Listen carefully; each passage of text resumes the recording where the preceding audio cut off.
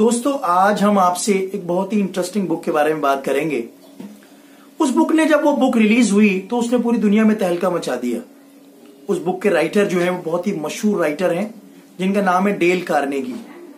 Dale Carnegie ने बहुत ही अच्छी अच्छी किताबें लिखी हैं, और इनकी आज मैं एक बहुत ही मशहूर किताब के बारे में आपसे डिस्कस करूँगा। उस किताब का नाम है how to win friends and influence people मतलब आप अपने फ्रेंड्स का दिल कैसे जीतें? और लोगों को कैसे इन्फ्लुएंस करें? डेल कार्नेगी को इस चीज़ में बड़ी महारत हासिल थी। वो एक अच्छे बिजनेसमैन भी थे। एक ऑथर के साथ साथ एक अच्छे बिजनेसमैन भी थे। और उन्होंने ये सारा एक्सपीरियंस अपना उन किताबों में लिखा है। और डेल कार्नेगी का हमेशा से झुकाव सोशल स्किल्स पर रहा है। उन्होंने कहा है कि कोई भी बिजनेसमैन जब कामयाब होता है तो उसका सिर्फ़ 15 परसेंट स्किल्स उसकी टेक्निकल या बिज़नेस स्किल्स होती हैं। पिचासी परसेंट एटी फाइव परसेंट उसकी जो स्किल्स होती हैं, उसकी कामयाबी में वो सोशल स्किल्स का हाथ होता है। सोशल स्किल्स के बारे में डेल कार्नेगी ने पूरा लिखा है और इस बुक को कितनी अच्छी तरह उसने रिप्रेजेंट किया है, मैं पढ़ के बहुत ही इंप्रेस हुआ। मैं इसीलिए आप, ये बुक आपके सामने रखने जा रहा हूँ। इस बुक में सबसे पहली बात उन्होंने कही है, सबसे पहला पॉइंट रखा है, उन्होंने ये कहा है कि आप लोगों को वो दीजिए जो लोग चाहते हैं। आप जब लोग से मिल, किसी से मिले तो आप वो बात मत कीजिए जिस काम के लिए आप आए हैं। आप पहले उससे मिलिए और उसका दिल जीतिए और सबसे आखिर में वो बात कहिए जिसके लिए आप आए हैं। मान लीजिए आप किसी भी आदमी के पास जाते हैं और आप डायरेक्ट जाके उससे सिर्फ़ अपने काम के बारे में कहते हैं तो मुझे उम्मीद है 99 परसेंट लोग उस काम के लिए फ़ौरन मना कर देंगे। अगर आप ये कहेंगे कि सर, आप मुझे मुझे आपसे कुछ काम है और मैं ये चाहता हूँ आपसे काम तो मुझे लगता है 99 परसेंट लोग उस चीज़ को मना कर देंगे। तो उसका पहला पॉइंट मैं आपके सामने रखने जा रहा हूँ। उसका पहला पॉइंट यही है कि लोगों को वो दीजिए जो जो, वो चाहते हैं। फॉर एग्ज़ाम्पल अगर आप किसी के पास जाते हैं, कोई परमिशन लेने या कोई उससे बात करने के लिए या अपना कोई काम निकलवाने के लिए प्लीज़ आप सबसे पहले उसके बारे में बात कीजिए कि सर मैंने आपसे मैंने आपके बारे में ये सुना है, मैं आपसे बहुत तारीफ़ सुनी है आपकी, आप बड़ा अच्छा काम कर रहे हैं और मैं आपके बारे में पहले से सुनता आ रहा था, मैं आपका बहुत बड़ा फ़ैन हूँ। माफ़ कीजिएगा, इसको बटरिंग नहीं कहेंगे, लेकिन सामने वाले का दिल जीतने के लिए आपको ऐसी बातें करनी पड़ेंगी। क्योंकि हर आदमी अपनी तारीफ़ सुनना चाहता है, हर आदमी अपने बारे में सुनना चाहता है। तो प्लीज़ आप वो बातें कीजिए जो वो चाहता है। आप प्लीज़ वो बातें मत कीजिए जो आप चाहते हैं। इसका एक बहुत अच्छा एग्ज़ाम्पल मैं आपको दूँगा। डेल कार्नेगी ने बुक में थोड़ा सा रेफरेंस दिया है उसका। अमेरिका में एक जगह का एक गवर्नर था और डेल कार्नेगी को उस जगह से एक रेलवे लाइन निकालनी थी। और डेल कार्नेगी ने उसकी परमिशन के लिए उस आदमी के पास गया और डायरेक्ट उससे ये नहीं कहा कि मुझे एक परमिशन चाहिए। क्योंकि उसको मालूम था कि अगर मैं डायरेक्ट परमिशन मांगूँगा रेल ट्रैक की तो वो मना कर देगा। तो उन्होंने कहा कि, मिस्टर गवर्नर, मैं ये चाहता हूँ कि आपके शहर में एक रेलवे ट्रैक खुले और उस रेलवे ट्रैक का मैं नाम आपके नाम पे रखना चाहता हूँ। आप देखिए कितनी बड़ी बात है। किस तरह लोगों का दिल जीता जाता है। आप किसी से भी इस तरह की बात करेंगे तो शायद वो मना नहीं कर पाएगा। तो उन्होंने कहा, गवर्नर बड़ा खुश हुआ। उसने कहा, मेरे नाम के ऊपर उसने, यस, मैं आपके नाम पे रखना चाहता हूँ। अगर आप परमिशन दे देंगे तो मुझे बहुत खुशी होगी कि मैं आपके नाम के ऊपर ये काम करूँ।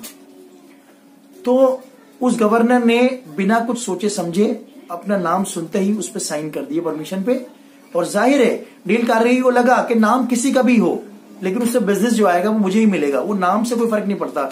और उसने गवर्नर के नाम पर रेलवे ट्रैक की परमिशन ले ली और अपना काम निकाल लिया। सेकेंड पॉइंट जो डील कार्नेगी ने लिखा है, उसने ये कहा है कि जब भी आप किसी से कोई काम के लिए जाएँ या अपना कोई काम मनवाना है आपको या अपनी कोई बात मनवानी है तो प्लीज़ कभी भी जो आप चाहते हैं वो मत कहिए। जो दूसरा चाहता है वो उससे सुनिए। जैसे कि उसने एग्ज़ाम्पल लिया डेल कार्नेगी अपने जितने भी लेक्चर्स और शोज़ होते थे, जितने भी अपने लेक्चर्स करते थे, वो एक होटल में करते थे और उस होटल के मैनेजर ने ठीक उनसे लेक्चर से एक दिन पहले उनको एक लेटर भेजा और उस लेटर में था कि आपके होटल का किराया 300 percent that mean three times तीन गुना बढ़ा दिया है। डेल कार्नेगी को ये लेटर सुन के बहुत अजीब सा लगा कि मेरे सारे लेक्चर्स के टिकट बिक चुके हैं, सारे मेहमान का इनविटेशन आ चुका है, और मैं लेक्चर्स का, मैं सब कुछ तैयारी हो चुकी है, और लास्ट मोमेंट पे इस होटल के मैनेजर ने मुझे लेटर दिया है कि आपका होटल का किराया तीन गुना बढ़ा दिया गया है। लेकिन उसको इस बात से ये बड़ा कॉन्फिडेंस था कि मैं उसके पास जाके अपनी बात मनवा लूँगा। डेल कार्नेगी उस मैनेजर के पास गए और उन्होंने कहा उन्होंने कहा, सर, आपने मुझे लेटर भेजा है और कहा है कि मेरे होटल का किराया तीन गुना बढ़ा दिया है आपने। मुझे इससे कोई शिकायत नहीं है, क्योंकि आप एक मैनेजर हैं और आपका काम एक होटल को प्रॉफिट के ऊपर लेके जाना है। मुझे लगता है कि अगर आपकी जगह मैं होता तो शायद मैं भी यही करता। लेकिन चलिए हम एक काम करते हैं, आपके होटल के किराए बढ़ाने से आपको क्या फ़ायदा हुआ? और अगर मैं ये होटल छोड़ के जाता हूँ तो आपको क्या नुकसान होता है? देख लेते हैं, एक कंपैरिजन करते हैं।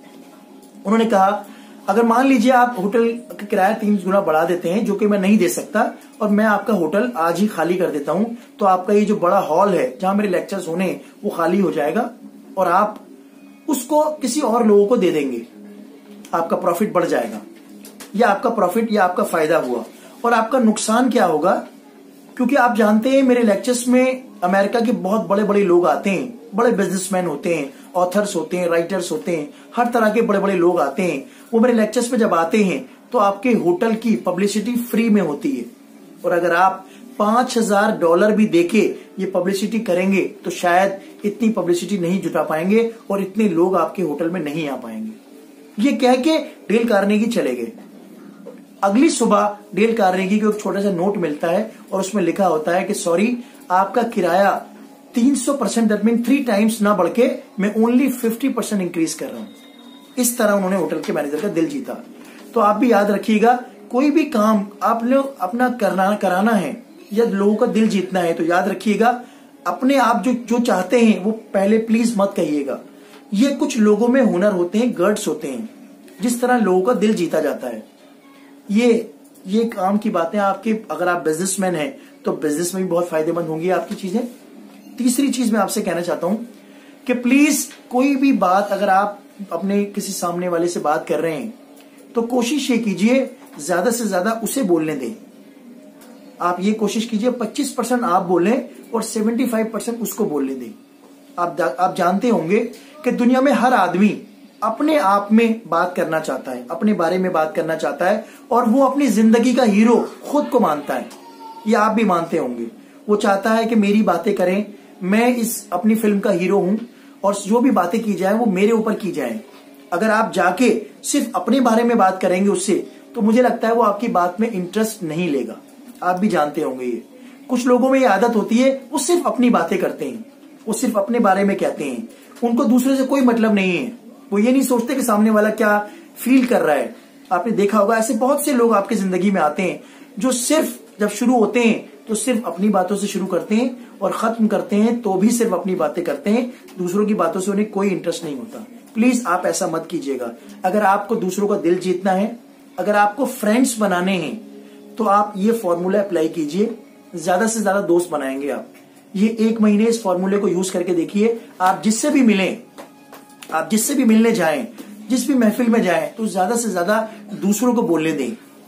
और अपने आप को ये कोशिश करें कि अपने बारे में बहुत कम बोलें, क्योंकि लोग अपने बारे में ज़्यादा सुनना चाहते हैं और अपने बारे में ज़्यादा तारीफ़ सुनना चाहते हैं। अगर आप उनके बारे में बात करेंगे और उनको बोलने देंगे तो दूसरे को भी ये लगेगा कि यार, ये आदमी मेरे में इंटरेस्ट ले रहा है। अगर आप सिर्फ़ अपने बारे में बोलेंगे तो वो इग्नोर कर देगा आपको और आपकी बात नहीं सुनेगा। उसको ये लगेगा कि शायद आप उसमें इंटरेस्ट नहीं ले रहे। ये छोटी छोटी चीज़ें हैं जिस तरह आप दूसरों का दिल जीत सकते हैं और दोस्त ज़्यादा से ज़्यादा बना सकते हैं। आप एक महीना ये फॉर्मूला अप्लाई करके देखिए। आप देखिएगा, आप एक महीने में इतने दोस्त बनाएँगे, इतने दोस्त बनाएँगे कि आप सोच नहीं सकते। क्योंकि हम हम, ये छोटी छोटी चीज़ों को हम इग्नोर कर देते हैं। हम सिर्फ़ अपने बारे में अपने बारे में बात करते हैं, अपनी दुनिया में जीना चाहते हैं। लेकिन आप ये भी तो सोचिए, जैसा आप सोच रहे हैं, दूसरा भी तो यही सोचता होगा। अगर आप दूसरे को दोस्त बनाना चाहते हैं तो उसके बारे में बात कीजिए। उसके बारे में बात कीजिए, उसकी तारीफ़ कीजिए, उसकी छोटी छोटी चीज़ों के बारे में इंटरेस्ट लीजिए।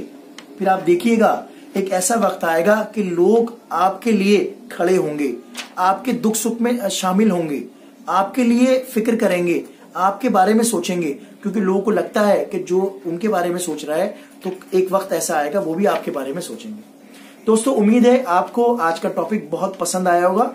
ये छोटी छोटी चीज़ें अपनी ज़िंदगी में उतार के देखिए। इनको अपने बिहेवियर में लेके आइए। आप देखिएगा, आपकी लाइफ बिल्कुल बदल जाएगी। जो लोग आपसे बात करना पसंद नहीं करते थे, वो आपको आपसे बात करने के लिए तरसेंगे। उनको लगेगा कि यार, ये आदमी बहुत अच्छा है। तो ये सोशल स्किल्स अपने अंदर लेके आइए और ये किताब ज़रूर पढ़िएगा. How to win friends and influence people by Dale Carnegie okay दोस्तों, आज के लिए इतना ही. मेरे लेक्चर्स को लाइक कीजिए शेयर कीजिए और मेरे चैनल एंड ट्यूब लेक्चर्स को ज़्यादा से ज़्यादा सब्सक्राइब कीजिए. फिर मिलेंगे आपके, आपसे एक नए टॉपिक में आपके साथ. आज के लिए थैंक यू वेरी मच